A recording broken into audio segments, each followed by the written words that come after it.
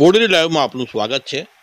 આજે છોટાઉદેપુર નગરમાં વરસાદ પડ્યો હતો. છોટાઉદેપુર નગર સહિત તાલુકામાં આજુબાજુના વિસ્તારમાં, બોડેલી સહિત આજુબાજુના વિસ્તારમાં ક્યાંય વરસાદ નથી. માત્ર જિલ્લા મથક પર આ વરસાદ પડ્યો હતો.